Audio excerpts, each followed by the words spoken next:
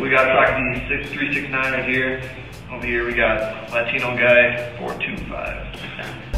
Ah, I'm trying to get him coming into the nest. We had this new message coming in here. Surely you see that this is not the same as knowing. For how could knowledge be unreasoning? And it's not ignorance either. For how could what hits truth be ignorance? Yes, he, he definitely, definitely looking to do some philosophizing. That's what I'm thinking, yeah. Let's, let's invite him over and see if we can get him to bite.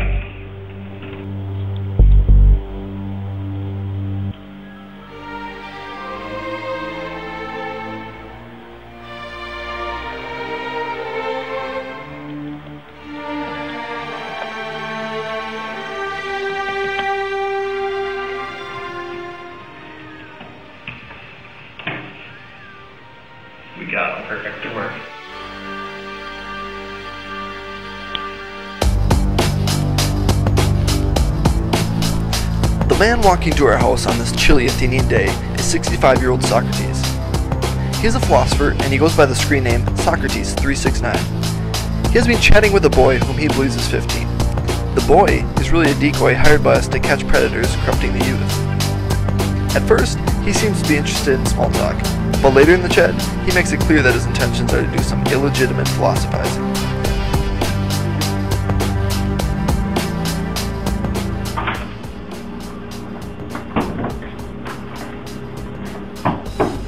Are we ready to philosophize? Hi there.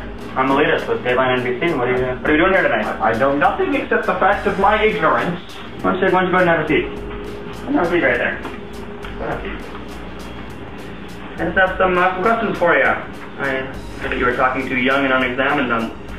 Is that even a real beard? Is the body not an obstacle when we associate with it in the search for knowledge?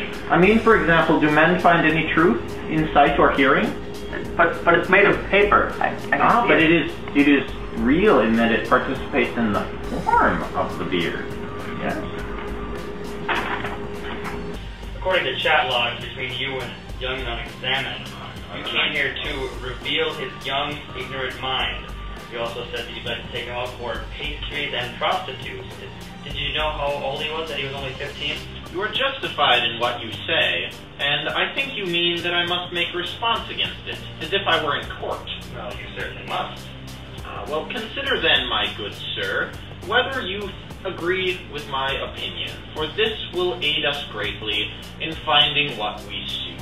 Do you think that it is the part of a philosopher to be concerned with the so-called pleasures, such as those of food and drink?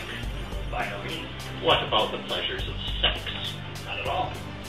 Do you not think, then, that in general, such a man's concern will not be with the body, but that he will take his attentions as far from the body as possible and towards the soul?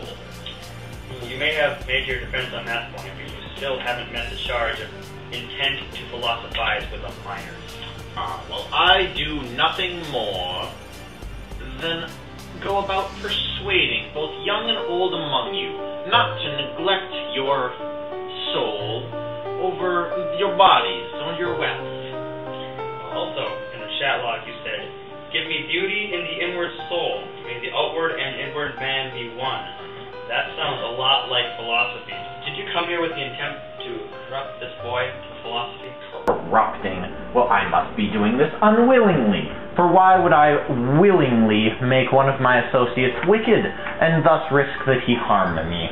You disgust me, Socrates. You completely disgust me. Your trick is to take hold of the argument, at which point you can do the most harm. Not at all. Well, where, where, where, where do you think we're going? It is obvious that I am wiser than this man, for it is only too likely that neither of us has any knowledge of which to boast, and he thinks that he knows things which he does not, whereas I am quite conscious of my ignorance. Hey, Gideon you're under arrest for attempting to philosophize with a minor.